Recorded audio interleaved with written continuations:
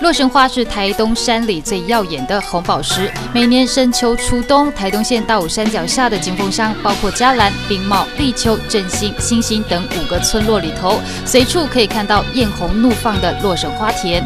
艳红夺目的洛神花，在湛蓝天空的衬托之下，令人迷醉。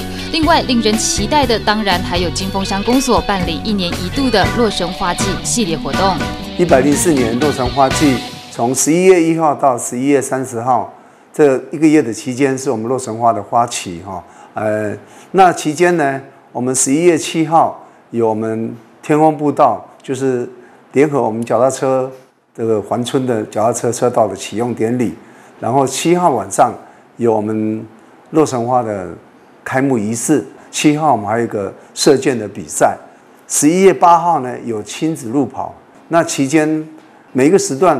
除了呃可以供大家来提供骑脚踏车之外，我们还有自己的风味餐跟美食哈。那十一月十四到十五是我们捅花比赛，是我们第二届的捅花比赛。那这个捅花比赛我们也有奖金哈，所以欢迎大家来参加我们的捅花比赛。一号到十号有一个洛神花的这个彩绘比赛哈。那这些部分都是欢迎大家来参加，所以我们十一月。